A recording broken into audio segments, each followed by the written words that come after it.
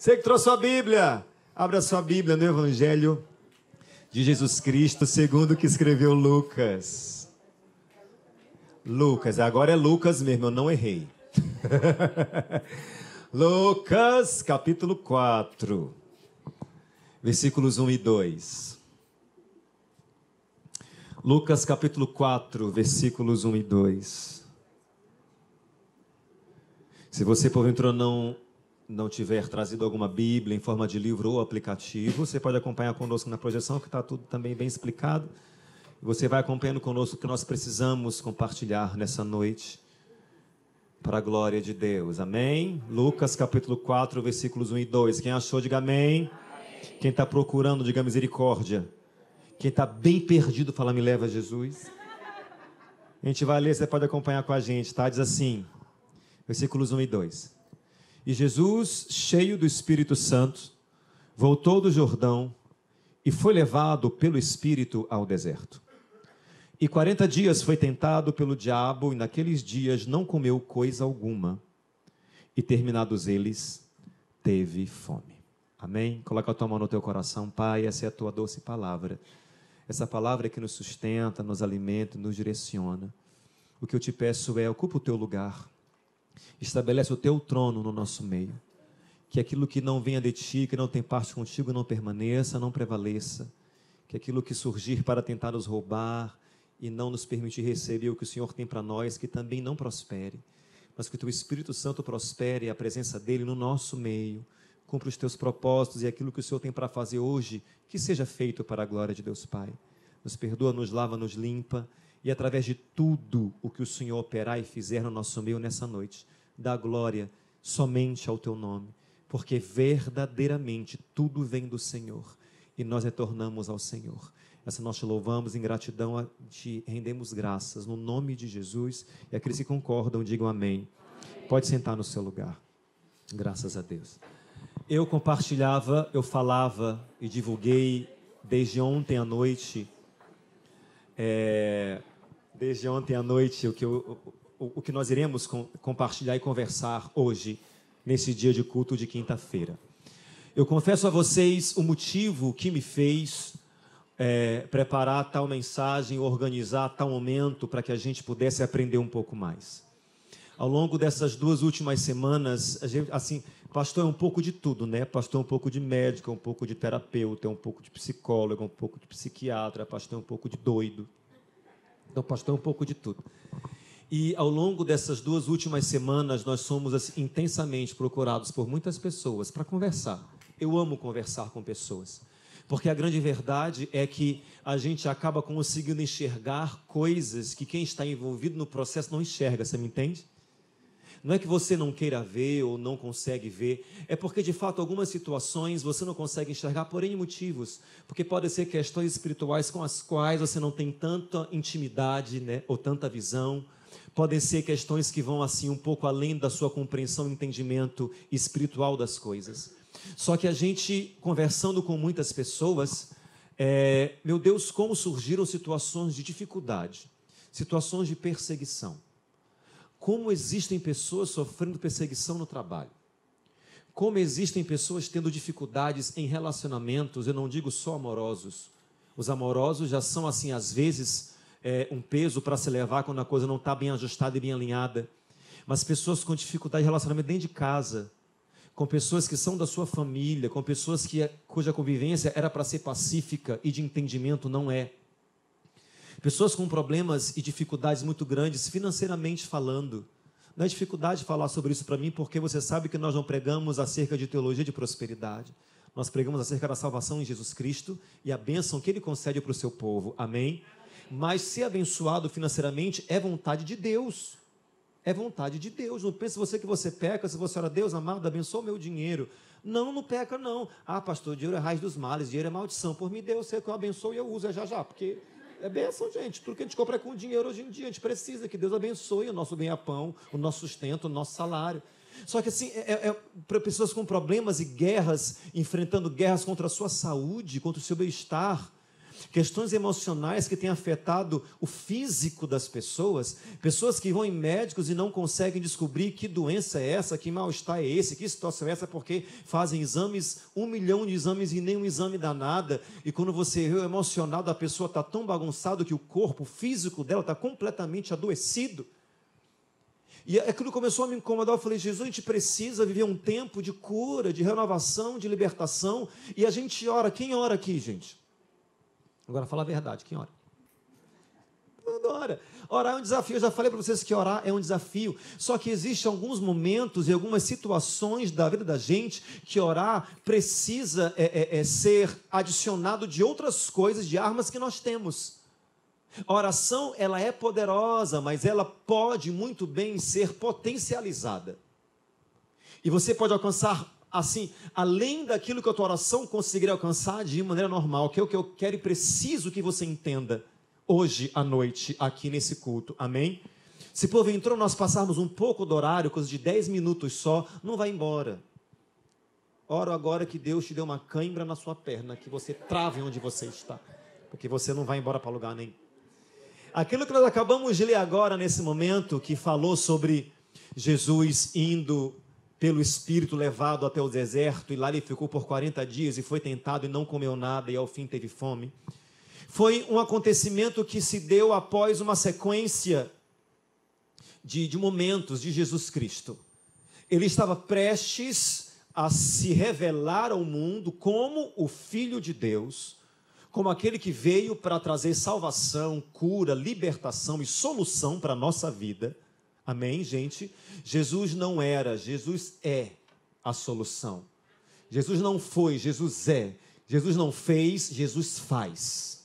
Quem crê nisso, diga amém. Ele estava prestes a se revelar ao mundo para mudar completamente o curso das coisas. E mudou tanto que hoje em dia a história é antes de e depois de tão impactante que foi a vida dele aqui. Só que para esse momento de impacto em todo um mundo, em toda uma realidade, ele precisou sim se preparar de várias formas. Primeira coisa que ele fez foi se batizar. Ele foi batizado por João Batista. Ele foi até o Rio Jordão e Deus se manifestou descendo sobre ele é, através de uma pomba. E viu uma voz do céu falando: Esse é meu filho amado, em quem eu me comprazo, em quem eu tenho prazer e ficou claro para João Batista que aquele era Jesus, o Filho de Deus. E dali aconteceu o que nós lemos: depois de ser batizado, ele foi levado pelo Espírito até o deserto. Ele foi levado até o deserto. E lá nesse deserto ele ficou por 40 dias, como se fosse uma preparação, porque, gente, sempre vai acontecer dessa forma. Antes de você viver e receber grandes coisas de Deus para a tua vida, vem um deserto antes. Isso é normal. Então, quando algum tipo de deserto chega em alguma área na sua vida, não é sinônimo de tristeza, não pode ser. Não pode ser. Tem pessoas que não conseguem até hoje associar isso. E quando chega algum deserto em alguma área da vida dessa pessoa, ela se desespera, ela chora, ela perde a fé. E no entanto não é, porque quando um deserto chega, é sempre sinônimo de coisa boa vindo logo depois.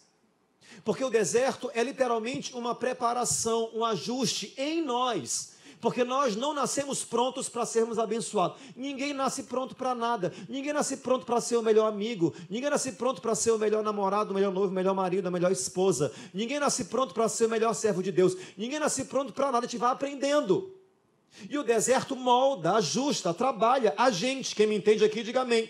Jesus estava no deserto e aconteceu o que nós sabemos lá no deserto. Ele estava lá no deserto quietinho, no momento dele de preparação. Quem que aparece lá? Vestido com a camisa do Flamengo. Quem? Quem? O Jason. Ele está lá. Alguém aqui é Flamengo?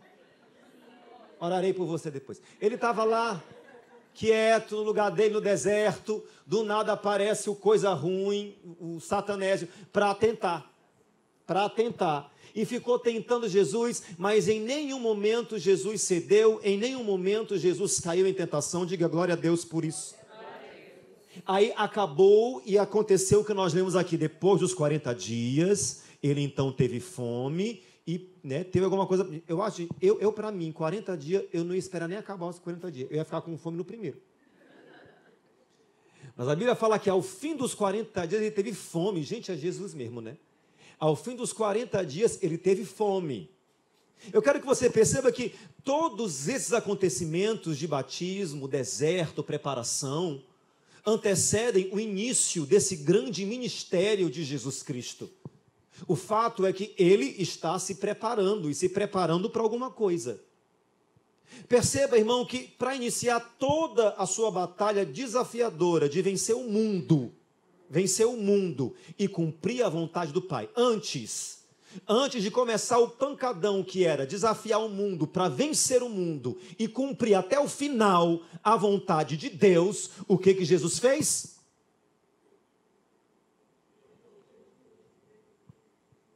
ele jejuou. Antes de vencer batalhas ferrenhas, antes de vencer uma batalha complicada e desafiadora demais, ele jejuou. Percebe como é diferente com a gente? Geralmente a gente se toca em jejuar quando está no meio da coisa complicada, sim ou não? Ninguém jejua por antecipação. Eu vou enfrentar um pancador na minha vida. Eu vou logo me, vou logo me preparar e vou jejuar para poder ficar firme e preparado para o que eu vou enfrentar. Ninguém faz isso. A gente geralmente para para jejuar no meio do pancadão, no meio da situação complicada e difícil. Jesus não, ele foi antes. Bom, eu sei que eu vou enfrentar uma batalha ferrenha, eu sei que eu vou enfrentar uma batalha desafiadora, então eu vou logo me preparar e vou jejuar. Jesus jejuou. Gente, Jesus jejuou. O Filho de Deus, Jesus Cristo, jejuou. Em outras palavras, Jesus literalmente se preparou para lutar. Ele se preparou para o pancadão que ele ia enfrentar porque a coisa ia ser braba. A luta ia ser ferrenha, a luta não ia ser. Eu pergunto para você que está aqui, de verdade, quem está aqui no nosso meio, e ou não sei, de repente você está no meio de uma luta ou particular, sua com você mesmo, ou sua envolvendo pessoas, ou sua envolvendo situações e circunstâncias. Quem está numa luta muito desafiadora dessa, por favor, levante a sua mão. Você tem orado por isso? Tem?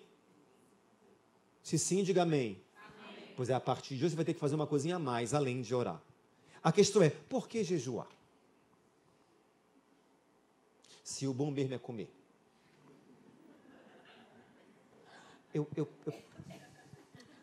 Ai, pastor, eu já oro tanto. Eu oro de madrugada, eu oro de dia quando acordo, eu oro quando durmo, eu oro, eu oro, eu oro, eu oro, eu oro, eu oro, eu oro. Pois é, ótimo que você ora. Mas algumas situações que você enfrenta, vai ter que ir um pouco além, você vai ter que ir para a base do jejum. Eu não estou falando que você vai ficar sem comer 24, é, é, é, um mês, 30 dias, seis meses, não. Eu estou falando que você vai precisar se adequar em alguns momentos para algumas situações da sua vida pelas quais você está orando, pelas quais você está clamando, pelas quais você está intercedendo, pedindo, orando ao Senhor, mas você vê que parece que a coisa está meio travosa, meio difícil, meio complicado. O que, é que eu faço? É o que você vai aprender nessa noite, amém? Por que jejuar? Antes de a gente entender por que jejuar, a gente precisa entender o processo que o jejum desencadeia. Porque você ouve que é preciso jejuar. Você ouve que é importante jejuar. Mas o que é que o jejum faz na verdade, além de te deixar com fome? Quem já jejuou aqui? Espiritualmente falando, não esse jejum intermitente para poder perder um peso, para poder emagrecer, para poder esse jejum que a gente fica, meu Deus do céu, que é, é minha irmã, é o um inferno isso. E comecei uma tal de cetogênica, e o senhor falou: olha, você vai ter que agora ficar de segunda a sexta-feira, 16 horas. Falou, o que, meu irmão? 16 horas de jejum. Eu falei, de segunda a sexta. É. Aí você vai aumentando até conseguir ficar 24. Eu falei, o quê? Hora de jejum? Ele, é. Eu falei, então o senhor vai lá na PAC me visitar. Que eu não vou aguentar.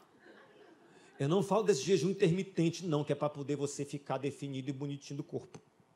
Que alguns aqui nem vai funcionar. Eu estou falando do jejum que é o jejum de cunho espiritual, tá? Quem já, quem, quem já encarou um jejum aqui assim por alguma. Ótimo, ótimo. Você vai entender mais ainda o que eu quero te dizer. Vamos aqui entender o processo que o jejum desencadeia na gente. Para isso, vamos aqui entender também um pouco dos do, componentes do ser humano. Isso aqui eu até comentei uma vez, tinha um grupo de adolescentes em um congresso. Eu falei, gente, é, é, define comigo os componentes do ser humano. Aí os meninos, é cabeça, tronco e membro. Eu falei, meu irmão, eu não falei do corpo, eu falei do ser humano. Os componentes do ser humano, gente. O ser humano é composto pelo quê? Hein? Corpo, alma e espírito. Ser humano é composto por corpo, alma e espírito. Existe essa divisão que a gente precisa se entender, diferenciar, pontuar. A gente não é só corpo, a gente não é só alma e a gente não é só espírito. A gente é composto de três partes básicas que são quais? Beleza, agora o que é cada um? Presta bem atenção para você entender bem nessa noite. O nosso espírito. No nosso espírito está a nossa fé. O nosso espírito é a nossa parte que compreende e se comunica com Deus. O nosso espírito é o nosso sinal Wi-Fi. É com esse espírito que Deus consegue se comunicar. Quando você ouve Deus falar com você, é pelo teu espírito. Quando você recebe alguma resposta de Deus, é para o teu espírito. Quando Deus se comunica em alguma coisa com você, é com o teu espírito. Quando você pede, Deus, aumenta a minha fé, trabalhe na minha fé, a tua fé está no teu? Então, tudo que envolve você e Deus, tudo que envolve você e uma vida com Deus, se localiza no seu espírito. Aí logo depois do espírito tem a alma. Na nossa alma está o nosso raciocínio, na nossa alma estão as nossas recordações, lembranças, na nossa alma estão as nossas emoções. Essa questão de ficar com raiva, com rancor, com ódio, de ficar amargurado, de ficar lembrando das coisas e já passou dois anos e é como se fossem ontem, isso tudo está baseado na alma da gente, na nossa alma. E existe o nosso corpo, que é a caixinha que abriga esses dois o, né, a alma e o espírito. Mas o que eu chamo a tua atenção é para uma junção muito perigosa que as pessoas têm muita tendência em realizar. Você sabe que a gente é feito de corpo, alma e espírito, mas se você perceber a Bíblia, fala o tempo todo, gente, olha, foge dos desejos da Foge da carne, foge do não dá lugar à tua carne. O que é essa carne que a Bíblia fala? Carne é quando junta corpo e alma. Quando junta corpo e alma, aí, meu irmão, forma-se a sua carne. E isso é uma combinação muito perigosa, porque pessoas que dão vazão à carne são aquelas pessoas que fazem tudo por impulso. Aí eu quero falar, aí eu quero fazer, aí eu não quero perdoar, aí eu não vou esquecer. Pessoas que vivem pela carne vivem pelas emoções. São aquelas pessoas que cada dia são de um jeito. Elas não entendem o que Deus fala, o que Deus espera. Deus espera que você perdoe, querendo você ou não, concordando você ou não. Só que a pessoa que vive na carne não consegue perdoar, não, porque ela fica muito irritada com as coisas. Ela guarda mágoa, guarda rancor. Ela vive na carne. Alguém conhece alguém que vive na carne? Quem sabe você mesmo? Carne. Complicado dá lugar para teu, os teus sentimentos, dá lugar para os teus desejos, dá lugar, eu quero falar, eu falo, eu quero fazer, eu faço, eu quero dizer, eu digo, eu quero ir, eu vou. Vivendo por esses impulsos, vivendo nesse pancadão, sabe, das emoções. Gente que acorda triste, não sabe por quê e quer viver aquele momento de tristeza. Não, me deixa que eu estou no meu momento, eu quero ficar aqui. Ao invés de procurar superar e melhorar, ela fica triste, coloca só música péssima. Em vez de procurar se levantar, levantar o astral, ficar bem, orar, ficar de bem com a vida e sorrir, não. Ela acorda mal. Não, hoje eu estou mal, hoje eu não estou bem, hoje eu não quero falar com ninguém, não falei comigo, quero ficar sozinho no meu canto. Colocar a sua frente dela para tocar. Acaba o dia pior que começou. Não é assim, gente. Eu já fiz isso, hoje eu não estou no meu dia, quero ficar só, não quero falar. O que, que, que, que, acontece quando eu dou vazão a isso? Eu estou dando lugar para a minha carne, ela que está mandando em mim, meu sentimento, minha vontade, minhas emoções estão mandando em mim. Quando você dá muito lugar para a carne, você fala demais, consegue controlar suas palavras e se mete confusão porque fala demais. E a Bíblia fala o tempo todo, gente, contra isso. Sempre nos direcionando, nos orientando. Não está caindo no mundo, não, gente, é só um bebedouro. água. A Bíblia nos orienta a todo tempo sobre isso para que você não viva baseado e fundamentado na carne. A Bíblia fala assim: olha, vigiem e orem para que não caiam em tentação. O espírito está pronto, mas a carne é. Por que, que o espírito está pronto? Porque tudo que se comunica com Deus é o nosso. Então está tudo pronto. Ele entende Deus, ele fala com Deus. Só que a carne é fraca. A Bíblia fala em Romanos capítulo 8, vou ler só os versículos 6 e 7 a mentalidade da carne é morte, mas a mentalidade do espírito é vida e paz. Quando a gente lê agora, que a gente sabe o que é carne, faz todo sentido os versículos bíblicos, né? A mentalidade da carne é morte, mas a mentalidade do espírito é vida e paz. A mentalidade da carne é inimiga de Deus, porque não se submete à lei de Deus e nem pode fazê-lo, porque não está em comum acordo com Deus. Deus chamou a gente não para fazer o que a gente quer, para fazer o que Ele quer, não para viver como a gente quer, mas para viver como Ele quer. Você me entende, querido? Quando você faz como Ele quer, você está vivendo pelo Espírito. Quando você faz tudo o que você quer, você vive pela.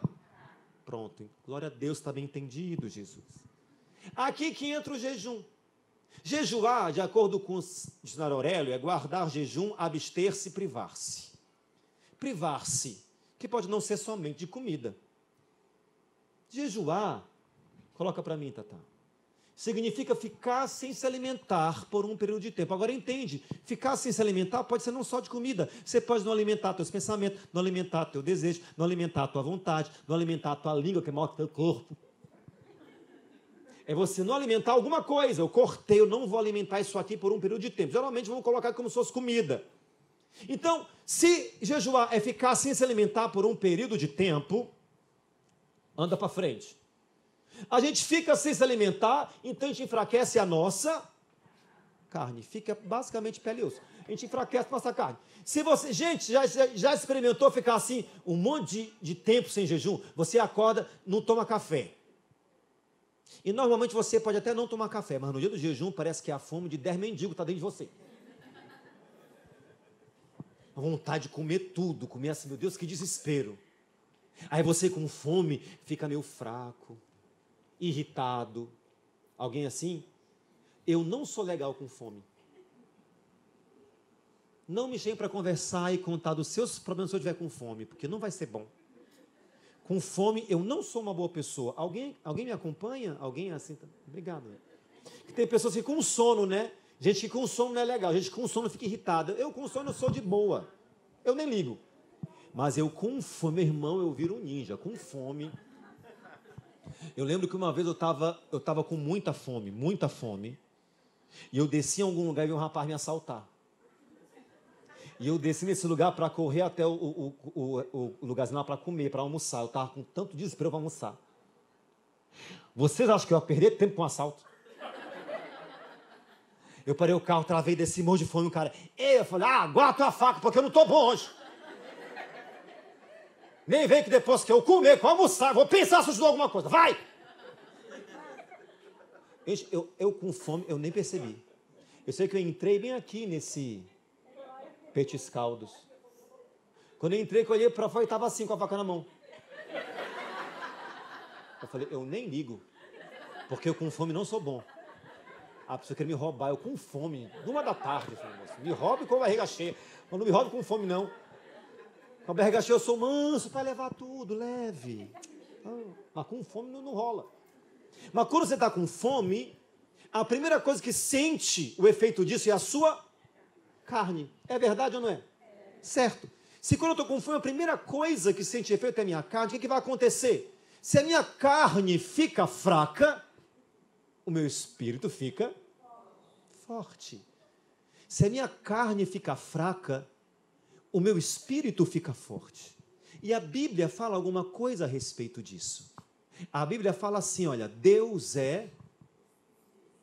Deus é importa que os que os seus adoradores o adorem em espírito e em Gente, o que que eu falei sobre espírito? O espírito tá, a minha fé é a nossa parte que compreende, se comunica com Deus. O espírito é aquela parte que tem o Wi-Fi funcionando da gente. Então, então, quando nós jejuamos, quando nós mortificamos a nossa carne e vivificamos o nosso espírito, quando nós jejuamos, o que que acontece? nós nos tornamos sensíveis às coisas espirituais. Isso é, nos aproximamos do Senhor e fortalecemos o nosso espírito. Temos mais entendimento espiritual e mais poder sobre o inimigo. Quando você jejua, teu espírito fica forte de uma maneira que você consegue perceber o que normalmente você não perceberia. E a tua oração fica potencializada de uma forma que vai além do que você estivesse orando normalmente sem jejuar. Para que você entenda de maneira mais prática e clara, em outras palavras, quando jejuamos, nós aumentamos os megabytes da nossa oração. E fortalecemos nosso sinal Wi-Fi. Gente, uma internet de 5 GB é boa? Uma de 20. Não é melhor? Digamos que você ora normal sem jejuar. 5 GB. 5 mega. O que é melhor, giga ou mega?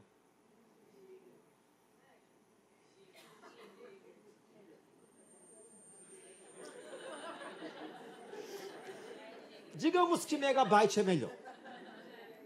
Você tem aí uma internet de 5 mega. Sem jejuar, a tua oração tem 5 mega. Já é ouvida? É. Já é atendida? É. Agora, quando você jejua, essa oração de 5 mega pula para 20. É mais forte ou não é? Teu sinal Wi-Fi fica, meu irmão, onde você estiver, o Wi-Fi pega. Você pode estar tá na cova do inimigo, o Wi-Fi está lá. Olha, olha, você vê coisas que normalmente você não veria. Quem entende? Quem me entende aqui, diga amém. Por isso que a gente precisa jejuar, porque as nossas questões são espirituais, a maioria delas. Fortalecendo o nosso espírito, nós fortalecemos a nossa oração, a nossa comunhão, nosso contato com Deus. Os motivos do jejum, nesse sentido, devem ser todos espirituais. A gente resolve se abster de alguma coisa e jejua para poder orar pela libertação de alguém, pessoas que estão dando trabalho, meu Deus, eu estou orando, a coisa não está pegando, não está funcionando, pois eu vou agora jejuar para potencializar minha oração pela libertação desse fulano aí que só me dá trabalho, uma pessoa dessa torta, carga torta, que só Jesus, manda logo um raio, tá? manda logo um raio. Eu vou orar e jejuar por libertação e cura da minha própria alma. Eu vou orar e jejuar por mais revelação da palavra de Deus, porque eu fico mais sensível, com os olhos mais abertos.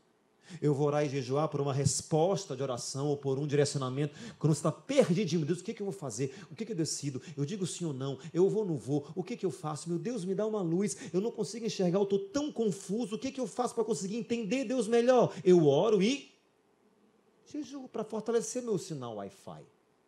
E Deus conseguir falar comigo. Eu vou orar e vou jejuar por proteção também. Eu vou orar já tem mais, tem mais uma opção? Por santificação, para me distanciar dessas coisas desse mundão. A gente não vai encontrar na palavra de Deus, por agradecimento também.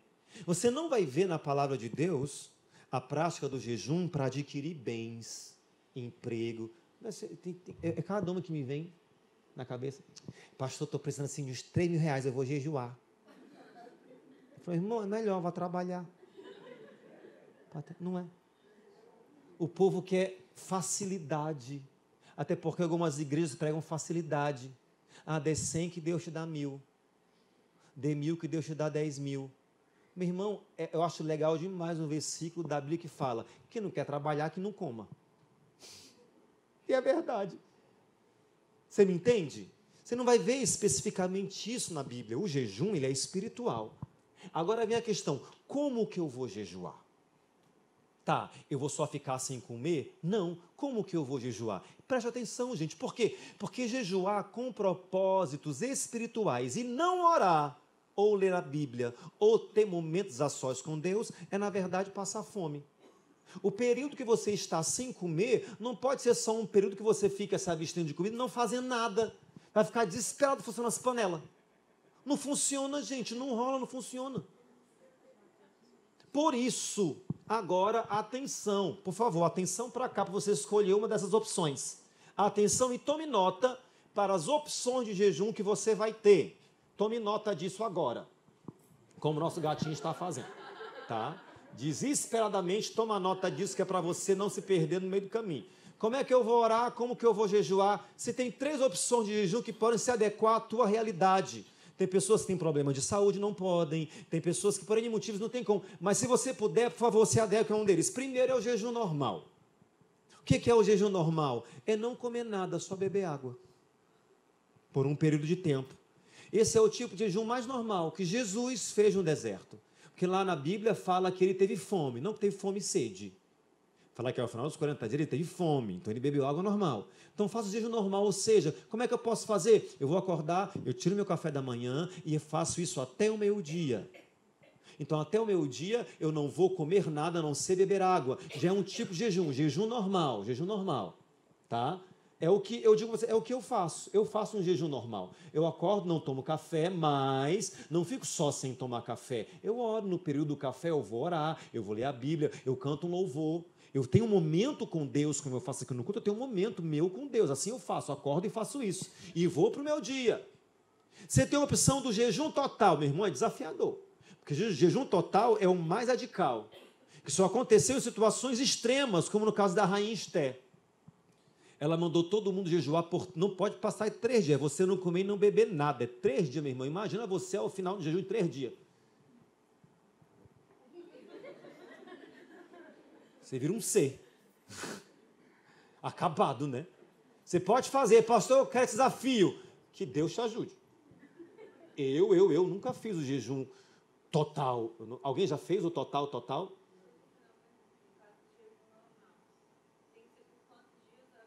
Jejum normal, você estipula os seus dias. Você pode fazer um dia, ou dois dias na semana, ou três dias na semana. Exatamente. Nesse caso de você querer seguir por vários dias em jejum, eu indicaria o jejum parcial. Que jejum é esse parcial? Jejum parcial é aquele jejum que você tira algumas coisas do teu dia a dia que podem custar alguma coisa para ti. Bom, eu vou fazer um jejum parcial, ou seja, por 12 dias eu vou tirar o café, eu não vou tocar em café. Por 12 dias eu não vou tocar em doce. Por 12 dias eu não vou tocar no meu WhatsApp. Hum. Por 12 dias não vou tocar no meu Instagram. Hum. Jejum parcial. Você, por um período de tempo, tira alguma coisa e aquilo representa o teu sacrifício, o teu jejum, a tua abstinência por algo que você quer alcançar. Daniel fez o quê, gente? Daniel começou um jejum. Ele não comeu nenhuma comida gostosa. Que ele gosta. Daniel ficou à base de salada, verdura e água. Ele cortou tudo que era gostoso, que ele queria uma resposta. Ele falou: Eu não vou parar de jejuar até Deus me dar uma resposta. Ele fez o de pastel, ele comia berinjela, abobrinha, alface, beterraba, cenoura, machixe quiabo. E era feliz. Só que não. A gente fez o jejum de Daniel aqui. Quem, quem, quem que fez o jejum de Daniel no começo do ano? Quem sempre faz no começo de ano? Eu achei uma graça a postagem do Mateus. E o Mateus colocou assim: jejum, fim do jejum de Daniel. Deus é bom, Daniel nem tanto. Se invenção em Daniel, né? Jejum parcial. Você pode escolher um desses para você se encaixar. Eu vou fazer um jejum é, normal, eu vou fazer um jejum total, eu vou fazer um jejum parcial. Aí você escolhe onde você vai. Agora, bom, conseguiu identificar onde é que você se encaixa desses três? Beleza, agora, o que, que eu vou fazer durante o jejum? Minha gente, atenção. Porque não é para você ficar sentado olhando para o nada enquanto está jejuando, não. Não é para você ficar, sabe? Tem gente que está de ficar lá, eu tô. Tá fazendo o quê? Eu, eu tô de jejum. Faz o quê? Não, eu tô, eu tô jejuando. Faz nada. Nada. Acorda para a vida, gente. Não é para você ficar sentado olhando para o nada enquanto você está de jejum, senão isso é passar fome. Aqui a intenção não é passar fome, não. O que, que eu vou fazer enquanto eu estou de jejum? Orar. Leia a palavra de Deus. O que, que eu vou ler, pastor? Leia um salmo. Salmo é de fácil entendimento. Leia o livro de Salmos. Leia Provérbios. Leia a palavra de Deus. Louvar. Aproveita. Você gosta de cantar? Aproveita. Que está sozinho, canta. Ninguém né, vai se assustar, canta. Vá. Adorar meditar um pouco na escritura. Ah, pastor, mas o dia que eu escolhi jejum eu trabalho. Tudo bem, acorda, não toma café, faça oração, lê tua Bíblia, vai para o trabalho. Quando der mais ou menos umas 10 da manhã, 9 e meia, 10 horas, se retira, vai no banheiro, na cozinha, em algum lugar que não tenha ninguém, para fazer pelo menos 5 minutinhos de oração, você e Deus e mais ninguém. Pelo menos isso. Pode, pode, pode, o que você puder para não ficar um período muito comprido de tempo sem estar em contato com Deus, senão vai ser só não comer. O jejum não é para não comer, é para consagrar-se, é para preparar-se. Amém, gente? E assim você toca para frente o seu jejum. E olha, eu digo para você que o jejum ele tem base totalmente bíblica. Não é uma invenção minha, não é invenção dessa igreja e não é invenção do povo de Deus, não, gente. Jejum tem toda uma base bíblica, e geralmente o que você vai ver na Bíblia é que quando a situação ficava difícil, complicada e desafiadora, o povo corria para. Eu vou logo jejuar, porque eu sei que jejum vai potencializar a minha oração, porque o meu espírito vai ficar mais forte, o que vai fortalecer minha oração para Deus. Só vou dar alguns exemplos para vocês. Ó. Jesus fez jejum por 40 dias e 40, e 40 noites no deserto sem comer. Moisés fez dois jejuns sobrenaturais quando passou 40 dias e noites no monte, na presença de Deus. Ele não comeu nem bebeu, gente. Foi Deus que sustentou Moisés mesmo. Elias fez jejum sobrenatural, comeu dois pães e tomou duas botijas d'água que um anjo deu para ele e seguiu caminhando até o deserto. Não é bom porque pão com água incha, né? Daniel fez jejum parcial, ele comeu só legumes e água por três anos de início. Não queria se misturar com a comida é, da Babilônia. Aí depois ele fez aquele jejum que ele não comeu nada desejável até chegar a resposta que durou 21 dias. Neemias jejuou por alguns dias orando, lamentando pelo sofrimento do povo. Ele orou por, jejuou por causa de pessoas. Josafá e toda a tribo de Judá jejuou para pedir um socorro do Senhor. O rei da nação oposta estava se levantando contra, queria acabar com eles. E vocês veem que teve um livramento que marcou a história do povo de Deus, do rei Josafá. O rei e o povo de Nínive que jejuaram, porque lembra que o profeta Jonas foi lá e levou um recado: se vocês não se arrependerem, Deus vai consumir essa cidade. O rei fez todo mundo jejuar, até os animais jejuaram, e Deus olhou para eles e viu arrependimento, eles não foram consumidos. Esté, a rainha Esté e as suas servas e o povo de Israel jejuou por três dias, porque o rei lançou um decreto que ia matar o povo judeu. Ela jeju, pediu o povo jejuar porque ela ia até a presença do rei para interceder. Só que ela pediu, gente, jejua para poder ficar um clima favorável favorável para mim, porque a situação é pesada. Esdras jejuou para pedir proteção de Deus em sua viagem. Os discípulos de Jesus jejuaram em várias situações, várias situações. Eu apresento você o jejum aliado à tua oração com uma arma que vai de uma vez por todas resolver essa situação de pressão, de dificuldade, de aflição que você tem vivido. E não estou prometendo isso como uma promessa falsa, é garantia pela palavra do Deus vivo, e quem crê nisso, diga amém.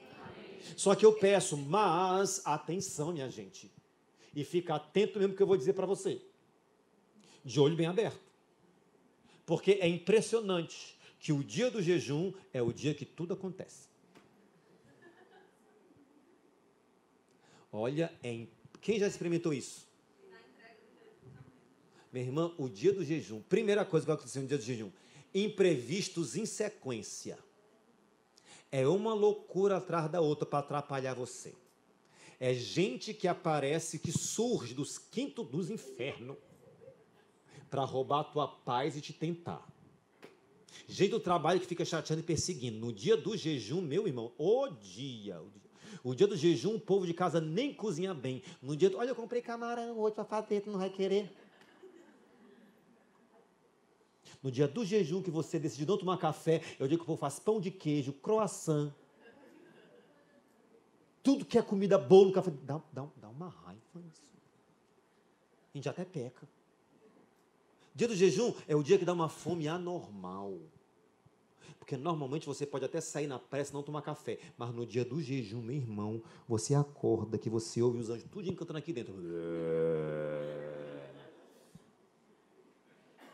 Quem já passou por isso? Eu, gente, é uma fome é normal dá no dia do jejum. Ô fome.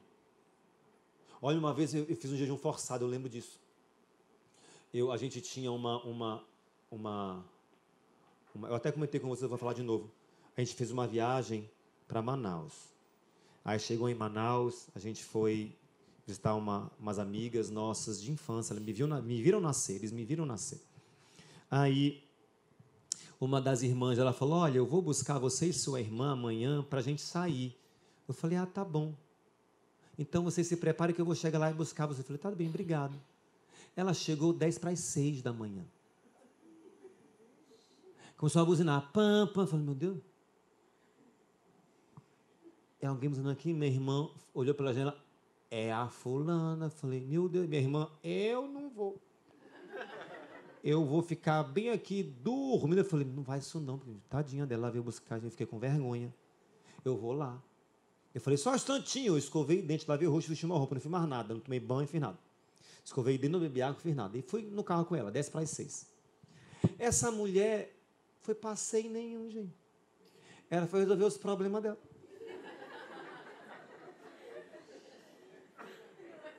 E me levou junto. Ela me levou para eu ficar no lugar das filas. Olha, eu vou lá, tu fica aqui e me espera. Hã? Fiquei numa fila, fiquei no outro. Eu não tinha, gente, eu não tinha nem bebido água. Nada. Eu falei, meu Deus, eu, eu, eu, eu não acredito que eu me meti nessa roubada. Não, é que eu resolvo, a gente aproveita e passeia. Passeia por onde? Irmãos, ela parou no último lugar para fazer uma cobrança, era três e meia da tarde.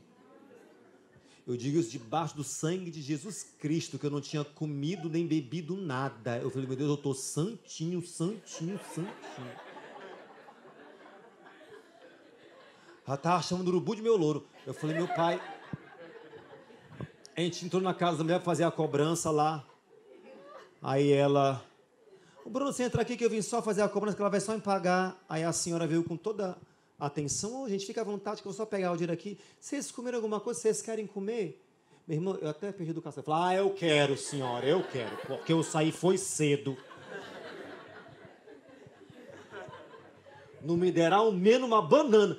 Eu, que a senhora tiver, eu assim, e eu, eu, Bruno, eu, eu, eu tinha exatamente 15 anos de idade, um dia desse. Eu não entendi o riso. Eu eu odiava, eu odiava cozidão. Odiava aquele cozidão que vem couve, que vem quiabo, que vem machixe, que vem abóbora, vinagreira, eu, eu odiava, odiava cozidão. Ela falou, você falou, quero comer, meu irmão. Eu aceito. Ela falou, pois, é, só um minutinho que eu vou esquentar, vou colocar na mesa. Meu irmão, eu estava na mesa. Traz frio. Ela, não, vai esquentar. Ela traz, coloca na mesa. O que, que é? Era uma. Gente, era uma, uma tigela de cozidão. Mas a fome era tanta.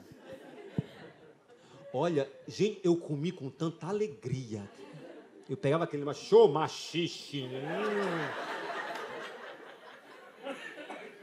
Hoje eu afirmo para você, o tempero da comida é o jejum. Porque hoje o que eu mais gosto de comer na minha vida é o quê? O tempero da comida é cozidão. É, oh, desculpa, é jejum. Dá até vontade. Alguém fez para almoço hoje aqui? Uh, foi, amiga? Endereço. Ora. Gente, a gente passa por essas coisas, a gente aprende muito, né? Tempero é jejum.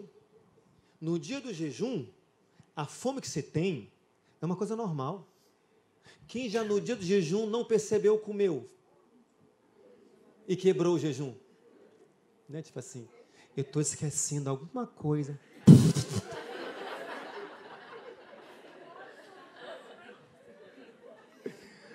Ai, mas dá uma tristeza, né, gente? Você passou 10 horas de jejum, meu Deus, você desprende, vai comendo alguma coisa, nem entregou o jejum. Esquecendo alguma coisa que eu tô com Ô derrota que é na vida da gente. Você passou por isso, você sabe. O dia do jejum é o dia de perseguições e irritações, com o intuito de tirar você do seu foco. É o dia que o pessoal fica te irritando. Mimimi, brincadeira sem graça, que é para tirar você do foco. É o dia do É impressionante como isso acontece. Mas permaneça. Porque você não tem noção, noção de como o jejum potencializa a tua oração. O que eu digo para você nessa noite é: crie o hábito de jejuar. Crie o hábito de jejuar. Que seja uma vez por semana, que seja duas vezes por semana, que seja uma vez no mês. Só crie o hábito de jejuar, para que isso possa surtir efeito na sua vida, na tua família, nas tuas questões, nas situações que você tem colocado para Deus em, em, em oração. Crie o hábito de jejuar em nome de Jesus. Quem entende hoje, talvez um pouco mais, a importância do jejum? Você entende a conexão sua com Deus quando você jejua? Você entende como o teu espírito fortalece e a tua oração fica assim uma arma de guerra imbatível? Então eu digo e oriento você sem demora: jejua. Amanhã. Acorda, não toma café, tira um momentinho, vai jejuar. Eu garanto que todo mundo que está aqui tem pelo menos um motivo para jejuar, sim ou não? Sim. Todo mundo. Já tem orado por isso? Tem. Já tem intercedido por isso? Tenho. Então agora, jejuo também. E eu garanto para você que Deus vai surpreender você com as respostas que Ele vai te dar. Quem crê nisso, diga amém. amém. Vamos orar? Fique em pé no teu lugar onde você está. Deixa eu perguntar uma coisa aqui nessa noite, gente. Quem vai a... Como é que eu vou falar? Aceitar a proposta de fazer pelo menos um jejum daqui para o final da semana que vem? Levanta a mão. Pelo menos um. Pelo que quer que seja pela tua vida, pela tua família, pelos teus negócios, é, é, é, digo assim, teus funcionários, né? Gente, trabalhar com gente só Jesus. Pelos seus relacionamentos, pela, sabe, pelas situações que você vive e enfrenta. Saúde, proteção de Deus, o que quer que seja, o que quer que seja. O jejum fortalece a tua oração e você pode orar pelo que você quiser. Pode, fique à vontade. Só jejum. Só jejum. Se você vai aceitar esse desafio para você mesmo, bom Deus, a partir de hoje eu vou eu vou dar uma fortalecida aqui na minha oração. Feche os olhos, quero orar com você. E eu quero te apresentar para Deus agora nessa noite, porque eu bem sei que vai ser chumbo grosso. Vai ser fácil não. Nem vai ser simples. Vai ser desafiador. mas permanece.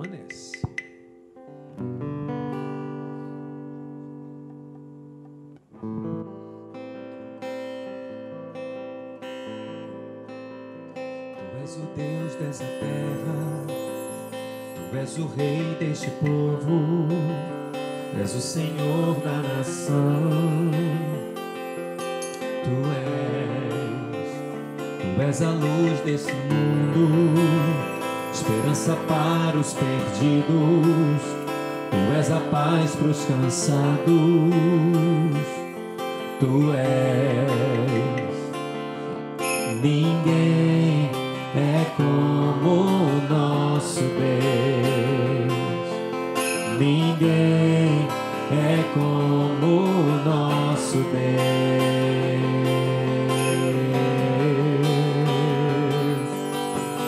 Grandes coisas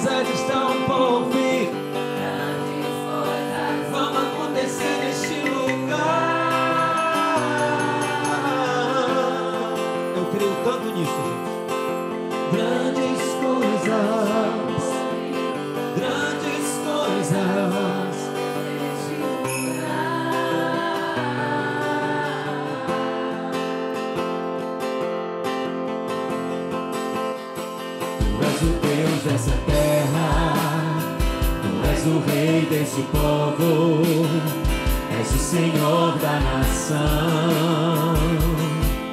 Tu és, tu és a luz desse mundo, esperança para os perdidos. Tu és a paz para os cansados. Tu és.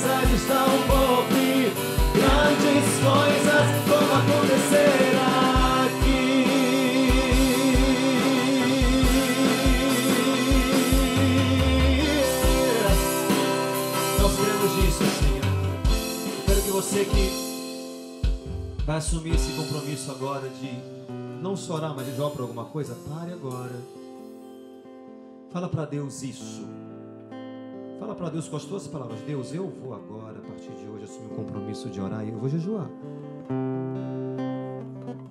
Eu vou jejuar porque eu quero fortalecer a minha oração em prol de do quê? Eu quero fortalecer a minha oração e o meu clamor em prol de eu preciso ter uma resposta de oração em relação a isso. Eu preciso de uma cura. Eu preciso de uma transformação na vida de alguém, de uma libertação. Eu estou necessitando, Senhor, de um direcionamento na minha vida porque eu estou um pouco perdido ou perdido em algumas coisas. E eu vou além de orar, eu vou, eu vou jejuar.